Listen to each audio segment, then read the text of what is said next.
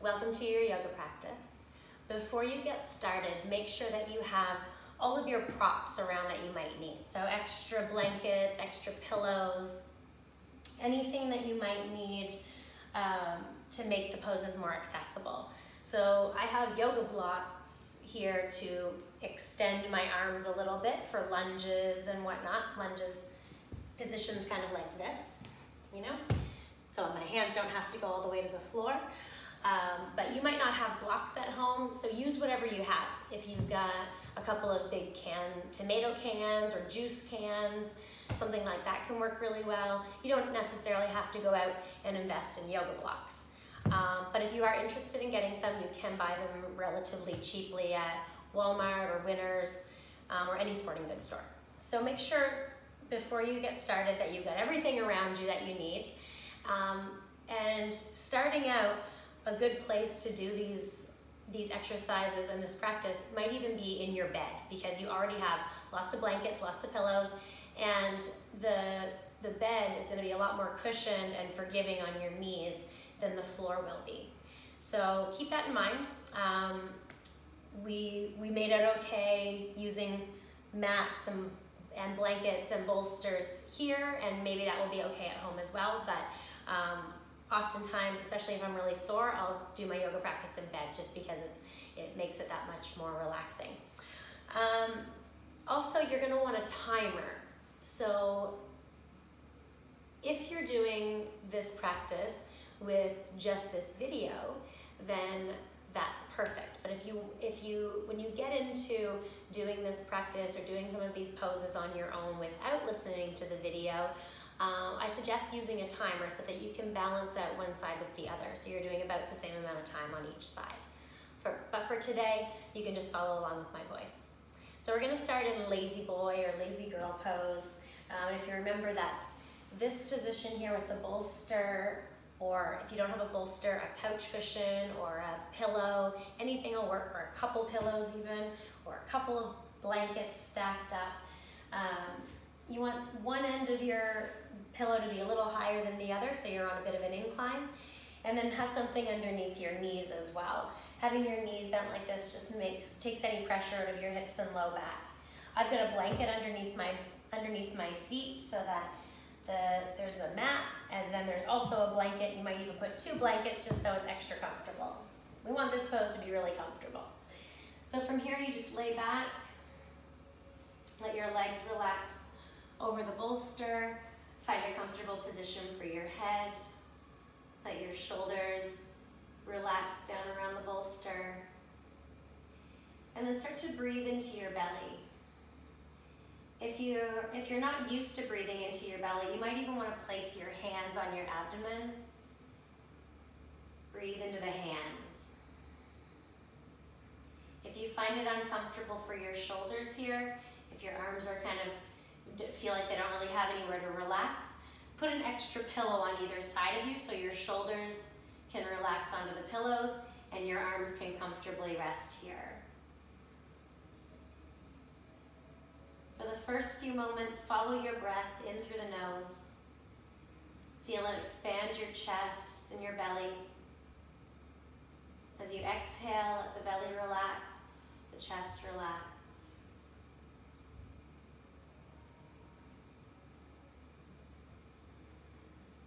Scan your body, notice if there's any parts of you that are feeling extra tender, extra achy.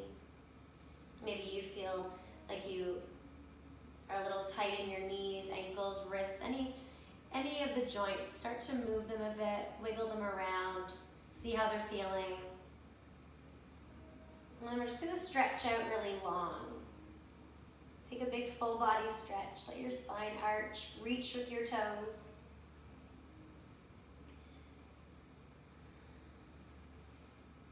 Bend your knees, roll your, your bolster out of the way, your bottom bolster, and just roll to one side and come on up.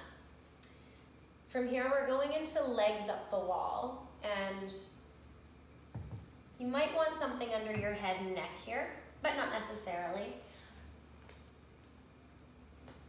Play around with it, see how it feels with it, without it basically you wanna get about one foot from the wall. So your hips are about one foot from the wall. And then you just kind of roll your legs up the wall like this. So this can be a little tricky if you're in, in you doing this practice in your bed. If you have some kind of a strange headboard or a shelf, then you won't be able to do this pose in bed. So you might have to do your practice um, just on the floor. So we're gonna hold this position.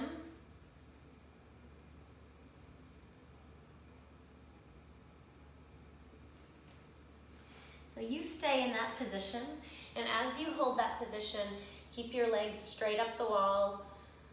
Take a few breaths here. Point your toes up towards the ceiling, and then flex them back towards you. Point them again up towards the ceiling and flex them back towards you. Do that one more time, point them up and flex them back.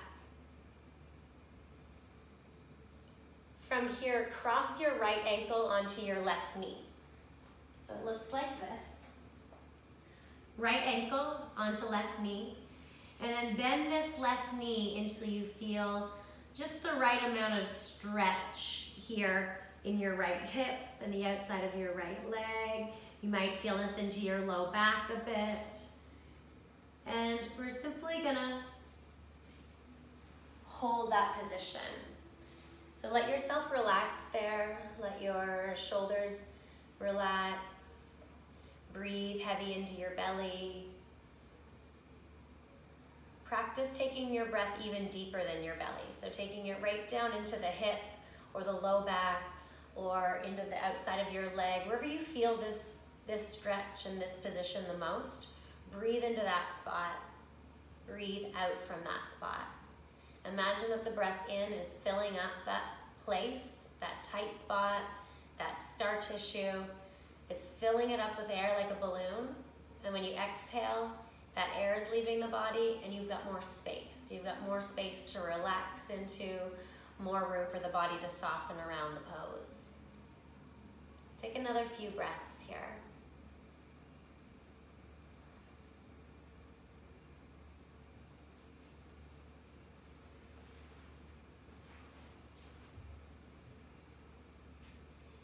And then lengthen your left leg up. Reach your right leg up. Point and flex the toes a few times.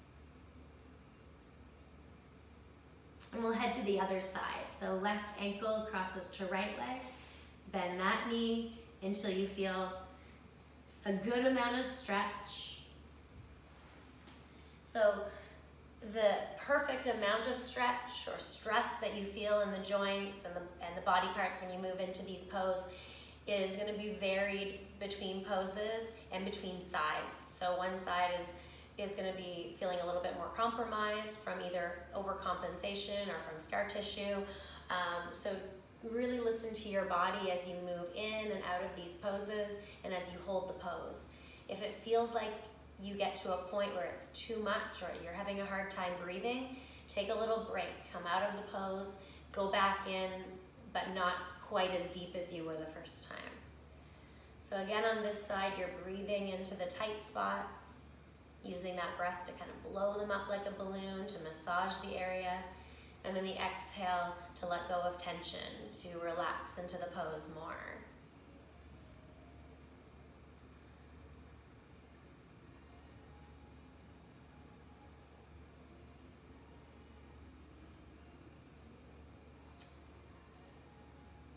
And from there, go ahead and release. Reach the legs back up the wall. Point and flex the toes. Circle the ankles. Anything that feels helpful for you to release here.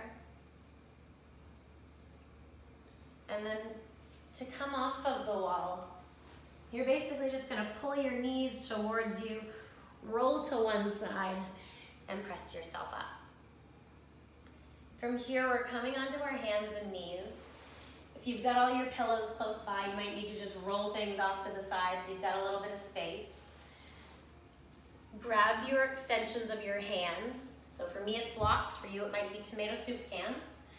And one foot comes forwards, one foot goes back. If you need extra cushion under your back knee, be sure to use it. Don't try to don't try to play tough, but listen to your body. You don't want to cause any extra extra strain or extra pain in your body. You're carrying enough of that around that we're trying to make things feel better. We're trying to loosen things up. There will be discomfort. There will be, you know, things that don't feel as nice as just laying down with a hot water bottle or some ice on you, but we don't want to be causing extra strain. So you get into your position and we want to our, we want our lunge to be deep enough that you feel a little bit of an opening here in the front of your leg before you push too far forwards. So get into a position that's comfortable, but you feel a little bit of stretch here in the front of this leg. And then you're just gonna push into the stretch, so sink your hips forwards for a few breaths. It's important you breathe into the poses. And then pull back just enough to take the pressure off. Again, push forward. Hold it in the stretch, breathe into the stretch. If we don't breathe into the stretch, the nervous system is triggered to think that something's wrong, so it will tighten things up. So if you can breathe into the stretch, your body's gonna relax a little more. Pull back, take a little breather, and do that one more time. Push the hips forwards.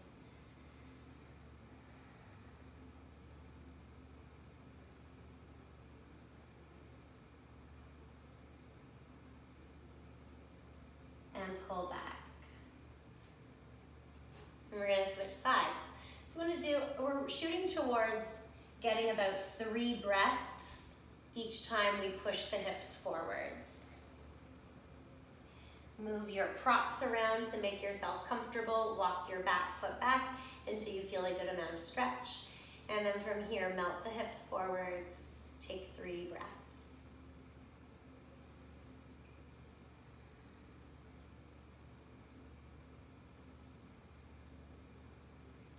Pull the hips back just enough to take the pressure off. And then we'll go right back into that stretch again.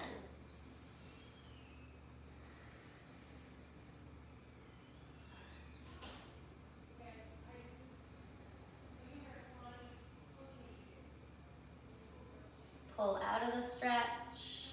And we're gonna do that one more time. Push forwards, hold it, breathe into it.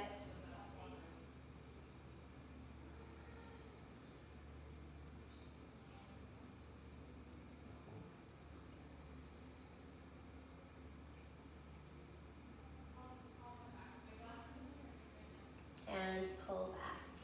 Make your way onto your hands and knees. And Maybe sink the hips back towards your heels or walk your legs out one at a time like this from a tabletop position. Do what feels good for you to, to help you release through the legs and the hips. We're going into that, that deep squat position that we did with all the blocks underneath your bottom. So for this one, you might have to find something creative to use. My suggestion would probably be some books, a big stack of books. And then you can just take books out. You might remember that um, we had four blocks. We had four blocks when you were here. I've got three here right now. Um, I can't remember the exact measurement of these, but as you can see, it would be about not quite two feet high was what you were sitting on. So about a foot and a half, foot and three quarters probably. Um, and we did, we started with that and then we worked down to three, about one like this. And then we worked down to this height.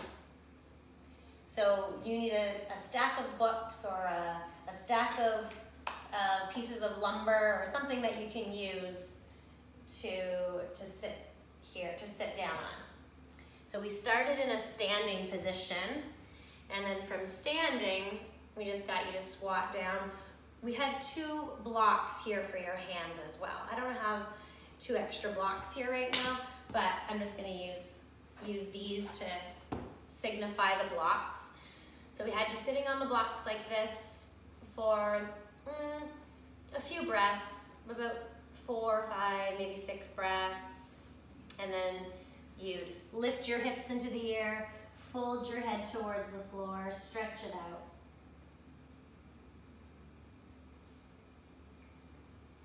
And then again, sit your bum down. Hold this position again. So your knees are pointing out to the sides. If you feel like you can already go down a little bit, you might take one piece of wood out or one, um, one book out, whatever you're using. It's good to have something under your hands, remember. Even though I don't have the blocks here, you had, you had your blocks like this to give you that extra support so you feel really stable here. That's important. And then again, we fold it.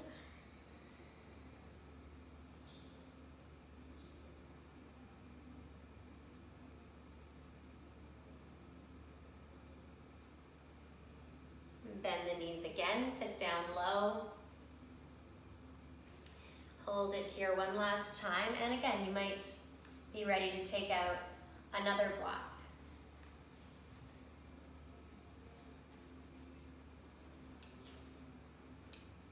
And just hold it, breathe into it. It might feel a little bit intense, it might feel really deep. Breathe deeper. It sometimes helps to close the eyes or just steady the eyes on one spot and keep bringing your attention back to your breath. The breath will bring you into your body, help you feel what's going on. We don't want to detach from the body, but we want to be present even if the sensation is strong. Feel it, breathe into it, and again, use the breath to help create space. One last time, we're going to fold forwards, lift the hips, stretch it out.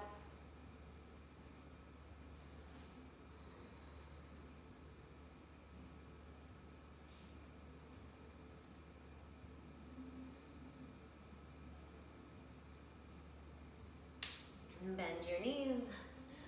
You don't have to come back to your block, but instead just make your way down onto your back. That's where we're that's where we're heading next is onto your back. So you can just go right there um, have your bolsters close by, your pillows close by. We're gonna use them again, but for now, you just need one block and lie down flat.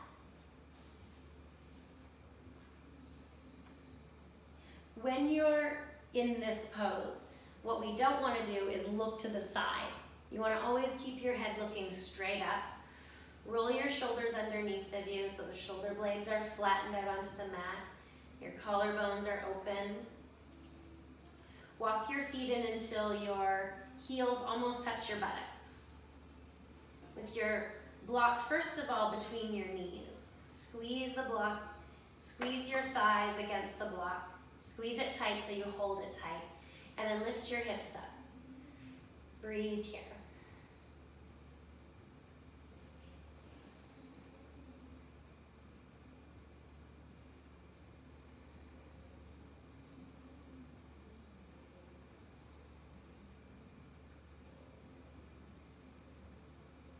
Hips come down.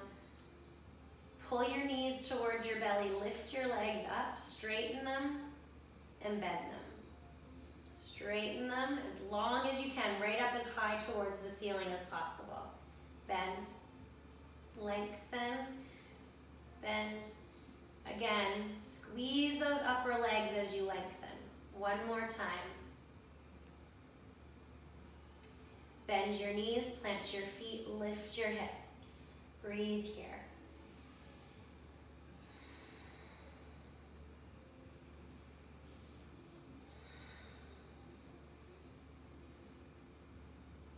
Keep squeezing your block. Lift a little higher for one breath. Hips down, knees in, lengthen and bend. Lengthen. So as you lengthen, reach through the heels Flex your toes down towards you. Bend and straighten. Two more.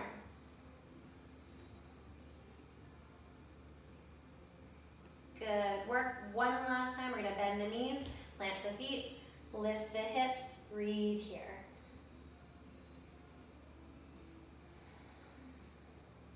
Breath is in and out through the nose. Keep pressing down through the shoulders and backs of the arms. Keep pressing firmly through the feet, hugging the inner thighs into the block.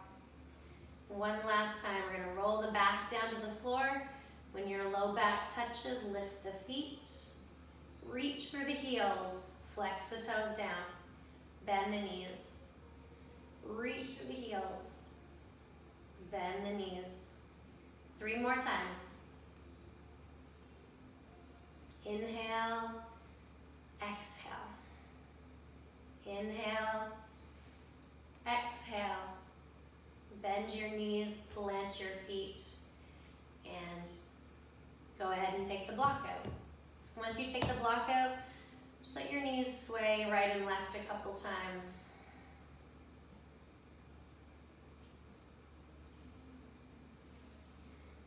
And we'll roll onto the right.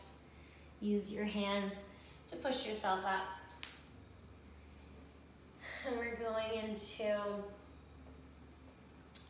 saddle pose, which was, quite recall exactly how we had you propped, but I know we had a lot of, a lot of blocks under you. So you basically looked something like this. I think we might have had, we had three or four blocks under, under you. And we had your knees bent like this. And then we had some bolsters behind you, which you weren't, which you weren't quite using. Um, so for this pose, it's really important that you're set up quite close to the wall. So close that your, your toes are at least a, a foot away from the wall. No, no more than a foot, but a foot away from the wall or less. And then you can have some pillows or blankets behind you so that you've got something to support your low back. I don't have enough enough pillows here for myself right now, and we had lots more for you. I think we had about, I think we had about four of them, four bolsters. So you would need like a bunch of pillows or a bunch of blankets behind you. What's important here is that when you're, whatever you're sitting on, your, your books or pieces of wood, you're able to sit. So you're, you don't want the knees to be so bent that it's hard for you to, to keep your, keep breathing. It's like, like making you kind of gasp for air or feel really stressed. We don't, that means you're too deep. That means you need to sit a little higher. Um, one other thing we did with you was we put we took a blanket like this and you can use a towel, a, a, hand towel or a regular size towel depending on how big you need it. We used this full size last time we put this under each ankle. So this pose is gonna be extra important for all of the scar tissue that you have going on in the knees and the ankles and the whole, really the whole front of the legs, the quads. There's, you know, there's weakness in the quads, but at the same time, they're, they're really tight um, with, with all different stuff going on in there. So we need to we need to open them up, stretch them out, but we also need to strengthen done some things in this practice to strengthen them, and then this is this is to open them back up, to stretch them out a little more. We also did some things like the lunges we did help to open up the body, open up this part of the body. Um, but this one is really good and we hold it for a little bit longer. We wanna stay here for at least two minutes um, and ideally working yourself up to being able to hold it for five minutes. And you might notice that after you've been here for a little bit, uh, maybe you start with three blocks or, or five pieces of wood under you or 10 books under you. But then after you've been here for a few minutes, you might be able to take two or three of the books out and still sit comfortably. So one of the keys in this pose is these rolled up towels or blankets under your ankles. That's gonna make it so much more manageable. And then find a comfortable height for your, to, for your seat. And then initially, you're not gonna be leaning too far back anyways. You were, you were very upright um, during our first session, and so you're probably gonna need to stay fairly upright for the first, for the first, at least the first week or so that you're doing this. You might end up opening up um, really quickly. We don't really know that yet, but don't overdo it. Listen to your body um, and only go as far as it feels comfortable, as it feels accessible for you.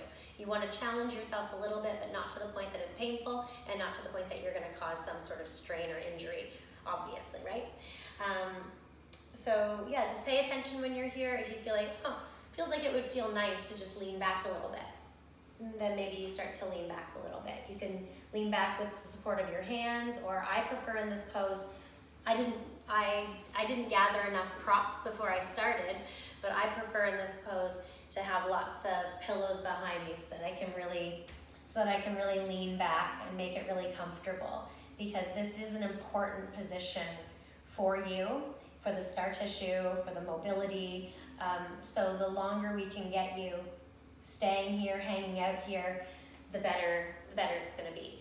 Um, if you feel a lot of pressure in your low back, lift your hips, tuck your tailbone, so just sort of tilt the pelvis, tuck your tailbone forwards, and that will lengthen out the space in the low back, but it will also make it a little more of a stretch or a little more intensity here. So just find the balance there. So we've been here for uh, a few minutes now, and when you come out of this pose, you're gonna feel like you've been pried apart because you have been a little bit on a very deep level. Your bones, your tendons and ligaments have been have just been stretched on sort of a microscopic level. Very, they've been pried apart very, very, uh, very, very slightly. So when we come out, you just want to move really carefully. Uh, my suggestion for coming out of this pose would be just to come out enough that you can get rid of whatever's underneath your seat, and then as as smooth as possible, stretch yourself out onto your belly, or or you might have a something like this under your chest to hold, um, just to stretch out the legs, or you can do this child's pose position, which can feel really good after that. There's not a right or wrong way to come out of a, a long held pose like that. Um, hands and knees and stretch out the legs like, like we did earlier. That's also a good option.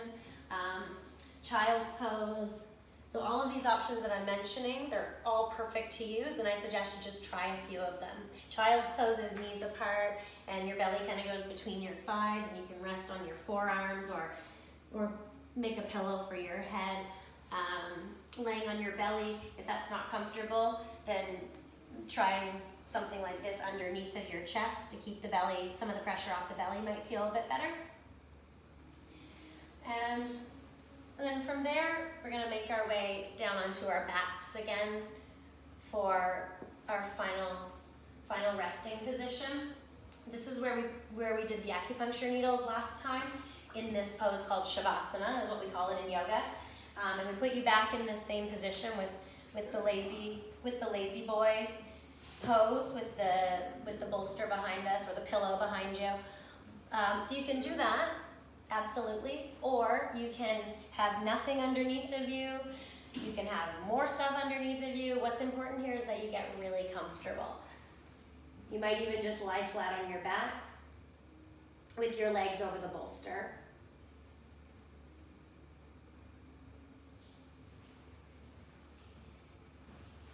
So you can stay with your, you can get yourself into whatever position feels good, either laying flat with legs over the bolster or back in your lazy boy position with the, so that the head's elevated a little bit um, and legs over something. It is nice to have something under your legs that, again, just keeps the pressure off the back.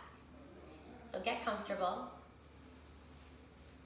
Settle in, make sure that your shoulders are rolled back so your chest is open. This just allows air to flow more freely through your chest and into your belly. Each time you take a breath in, feel your body slightly rise up, fill up. And as you exhale, just let your body get a little heavier, a little softer. Stay in this position for at least 10 full breaths in and out. 10 sort of focused, mindful breaths where you pay attention to the sound of the breath, the sensation and feeling of the breath coming in, and you pay attention to it going out. And your brain might jump to all different thoughts outside of this room, outside of your mat, but keep bringing it back to the breath. We call this mindfulness. This is basically the foundation of mindfulness practice. We, we practice focusing on the breath so that outside of our yoga practice, outside of, of these poses and this time, we can transfer that skill to help us stay in the moment, to be more productive and more um, more focused on the task at hand and less distracted and and less multitasking, more of, you know, I'm here, I'm present, get this done, um, and less like, less of the monkey mind. So again, the foundation of that practice is this mindful breathing of paying attention to the breath coming in, paying attention, attention to the breath going out. And this brings us, uh, brings our awareness into our body. It helps us to be more present in our body. It helps us to feel what's going on in our body. It helps us to know if something's good or bad for us. Um, so it's really an important, an important tool for overall health. Take a few more breaths here and I'll leave you in this position. Feel free to stay in this position for as long as you have time for. If you've got a little extra time, this is a really rejuvenating and restorative pose to spend some time in. If you have an extra 15 minutes, take it here. Have some music on or just have the room quiet and give yourself permission to really relax. Time in a spending time in a relaxed position like this with no TV and no phone and no distractions can feel 15 minutes can feel as rejuvenating as six hours of sleep. So um, it's it's really valuable. It might seem it might seem a little silly or like you're wasting time, but it can go a long way to healing us and to helping our bodies do the, the repair that they need to do. So thank you for your time and thank you for your practice. Namaste.